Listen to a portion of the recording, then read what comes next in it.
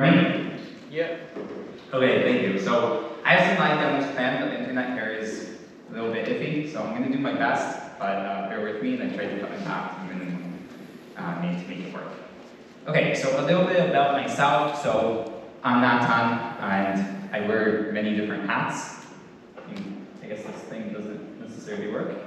Okay, so I'm going to stay a little bit closer. Yeah, okay, so I wear a bunch of different hats, and I was a developer for many years, also an open source contributor uh, for over 15 years now, starting with GNOME Linux. I'm co-founder of Robusta, which does web-based monitoring for Kubernetes. And I do a lot of DevRel stuff, so here's an example video I did with my grandmother, um, DevOps with Grandma Sue, where we talk about Kubernetes and explain in very non-technical terms why it matters. Um, so you need to explain to your spouse or to other people what you do, then that's often a good reference. Now, outside of work, I'm also a crazy plant guy, so uh, I grow a lot of different vegetables, mostly tomatoes, grow a whole bunch of different stuff with my wife. And today I'm going to be talking about runbook automation. So I'm going to be talking about what runbook automation is, why you need it to make your life better, how it works under the hood, and assuming that the internet is okay, then you'll see live demos. If not, then you'll see uh, screenshots. So Wait, before I go on, I'm just curious, is anyone, is anyone here using some form of runbook automation in production today? Okay, so I'd love to hear from you guys afterwards. I'm also curious about what you guys do. And I also just want to see on the aspect ratio that this isn't cut off. Can you see the bottom of this? Okay, yes. One second, let me see if I can fix this. The aspect ratio is wrong. Is that better? Yep. Okay, perfect. So who here knows this other? Has anyone seen this before? Oh, yikes.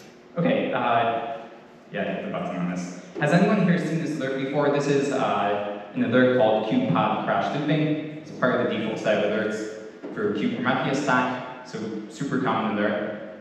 And the, what runbook automation is, is taking an alert like this and then adding on context. So connecting that to logs, to graphs, adding on knowledge about why an alert like that is firing, and sometimes even being able to fix an like that automatically.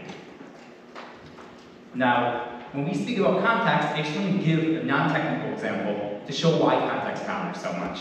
So, can anyone guess what this object is? Come on, guys. It a go. Some scanner. A security camera, what do you say?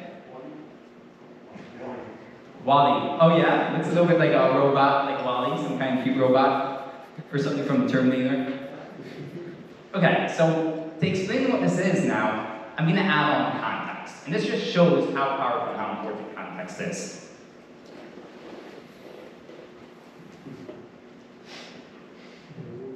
So this is an object you use when you work from home and your cat starts jumping all over your desk and you want to occupy your cat so that you can actually get some work done. And as soon as you see this object with the context, then it suddenly becomes apparent what this is and why it matters. When you see another out of context, or when you see an object like this out of context, then you really don't know what it is and if it means something or not. So that's the goal runbook automation, to add on that context.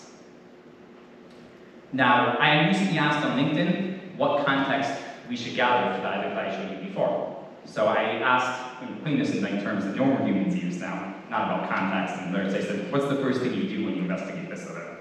And that's really like the same question, but phrased the way people like actually think. And I got a lot of different answers. So being the data-driven guy that I am, I went and I went over all those answers and I summarized it and I counted up how many different times I got each answer. And let me go through those answers. So two people say you should blame the DevOps team. One person recommended, uh, one person recommended running this command. Does anyone know what that command does? Okay, so for those of you who in on the joke, that uninstalls Kubernetes. but then we got a bunch of serious answers too. So four people said you should run kubectl events for the, the Kubernetes events, which are events emitted by the API server that give you useful diagnostic information. four people said you should run kubectl Describe, kubectl Describe poison events and some other stuff. And the overwhelming majority, so what you want to do when you have that alert, is you want to look at the application logs. So you should go and fetch the file logs, and you know why the cloud's crashing. So what we're going to do today is we're going to take that alert and we're going to automate that process. So we're going to go and we're going to take that alert and automatically pull those hot dogs and you'll get it right there in Slack. So as soon as you get that alert, you'll have the context on why that alert is firing. Now this is a simple example, the one that we encounter every day, but you can also apply this concept to far more advanced things that we'll see later on. So let me give you a teaser for what this will look like. End, you can get into like that in Slack. And there, if you look carefully, you can see there at the bottom, I know how to use this pointer thing, maybe not. But you can see there at the bottom, like, there, there are labels and everything. Essentially, we're taking the metadata from that and we're taking the labels, and we're mapping it onto a Kubernetes object. And then automatically, we're pulling in all that context, so the person who gets that alert doesn't get an alert and say, oh, okay, here's an alert, good luck. But now you have context, and you can see why that alert is firing. So now let's talk a little bit about Prometheus alerting architecture. So the way that it's normally working with Prometheus, and I'm sure there are people in this room who are far more experienced and expert in this than I am, so if I'm getting anything wrong here, I'm sure I'm giving some simplifications here, feel free to come over to me afterwards. Um, but what we're going to do is, sorry, the way that things normally work is Prometheus issues alerts. Those alerts get forwarded to the alert manager, and the alert manager has more advanced logic on top of that. For example, it groups the alerts, it um, has a grouping interval, it um, uh, notice when alerts are resolved, does various different things.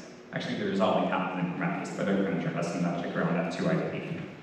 Um, and then finally, the alert manager takes that alert, that set of alerts that we grouped it, and now it forwards those alerts by webhook to the destination that you receive alerts in. So you get alerts at the end of the day in uh, Slack or in MS Teams or in all these different destinations. Um, someone recently added support to Robusta actually for uh, Cisco WebEx, so I guess there are people getting alerts in Cisco WebEx, which kind of surprises me. So you get the alerts there in Slack. Now, we're going to change the architecture a little bit, and we're going to add in an additional component. So one way that we can implement runbook automation, which is very popular, that's how we're going to do it, is we're going to add in an extra component here in the middle. So you have alerts that come from Prometheus, they go to Alert Manager, from Alert Manager they get sent now, not directly to Slack, through MS Teams, they get sent to the runbook engine. The runbook engine takes that alert, it pulls in extra context, pulls in that context about what this alert is, what it means, maybe why it's happening, or even normally fixed. And then it sends that alert plus extra context now onto the final destination. So that's what we're going to do. And this is a good time to say what Robusta is. So Robusta is an open source project um, on GitHub, of course, and it contains two main parts. So the first is the runbook engine. That's the engine that takes these incoming events and then as in the context according to a bunch of rules that you define in YAML. And then the second part is we've gone and we've gone over all the alerts in Kubernetes stack and all the other common alerts that people have because we all run Kubernetes, so we actually have, all have very similar alerts to one another. And we're taking those alerts and we're adding on these runbooks out of the box so that anyone who gets alerts would just get a good alert by default without needing to configure anything. And then that means to happier developers and people who use us because now they understand why they're. So that's our goal. Okay, so uh, Robusta is MIT licensed, and um, please take a moment and scan that and uh, give us a star on GitHub. That really helps us as a project and as an open source project. That helps us spread awareness also of what we do. And uh, I will also say we have a bunch of community run books that are like going out and mapping stuff in Kubernetes stack and mapping out other common Kubernetes errors. Um, so we're doing our best to really get wide coverage, and this is one of the reasons why it's so important to us to be here today, to really also engage with the broader Prometheus community and speak about what we're missing and what content we should add on. And let me now show you how you set this up. So the first thing we're going to do is we're going to go to the manager's configuration, we're going to add in a webhook receiver. We have full instructions for this online, of course the Prometheus docs are excellent and that cover this as well. Essentially what we're telling now Prometheus, to be precise, what we're telling the manager to do is we're telling the alert manager that when there's an alert, you shouldn't go and send it directly to Slack anymore. We're going to send that alert to the runbook engine. Now, the, the, next part is like kind of the hard part, right? Now you actually have to write the runbook engine. The runbook engine is this HTTP server, so it's getting all these alerts by HTTP over webhook. And then you have to take those alerts, you have to parse them, and you have to pull out the different context of the alert, and you have to like uh, contact the API server and pull in the logs and do all this other stuff. So this is the traditional way you would do it. Would write a bunch of code that runs an HTTP server and has like a whole bunch of if and different stuff to handle each of the different edge cases. And what we've done with Robusta is we're trying to make this really as simple as possible and to bring runbook automation to process. So to make that happen, we now turn this into YAML configuration. So when an alert reaches Robusta, Robusta then goes and it parses this YAML file, it looks up the alert that arrived in the set of rules, and it says, okay, for this given alert, how should I enrich it? What context is missing if this is an alert about crashing pods? Or if you get an alert about a node that ran out of disk space, what do I need to see as a person who's on call in order to solve that issue? And then that's where the broader community comes in, and all the uh, community coverage to really out the box give you all the stuff that you need to succeed at it and to succeed at the Kubernetes monitoring. So here's the configuration. I'm going to go over the configuration now. So every automation, every runbook in Robusta has three parts. There's a trigger, so that's the condition that's triggering this runbook. In this case, it's the Prometheus alert from kube-prometheus Slack that's called kube-pod crash looping. The action is what we're going to do when that arrives, and the action here is we're going to pull in the logs. And the sink is where we send the data. So we're sending the data here to stack, you can send it to MS Teams, you can send it to, I guess it's WebEx, you can send it to OpsGenie, PagerDuty, you can send it all place. I believe you can even send it to Datadog. Um, okay, so the last part then is, I just want to say a word though that's maybe not obvious when you look at this the first time, but data is flowing through all these. This is almost like a data pipeline. So if you look at this actually, then we're saying there's an alert here on Prometheus alert when the pod crashes, but data flows from that trigger into the action. So the action now, it says go fetch the logs, but it knows who to fetch the logs for, because we're taking the metadata from that Prometheus alert that's there from the Kubernetes Prometheus discovery, and then we're using that in order to map that alert to a Kubernetes object, and then we can pull in the logs from that Kubernetes object. So this is actually like a, this is actually like a typed pipeline. Like the data passing through this knows that this alert is related to this pod. It knows the Kubernetes uh, object. It has all the Kubernetes context, and then you can very easily pull in the right data.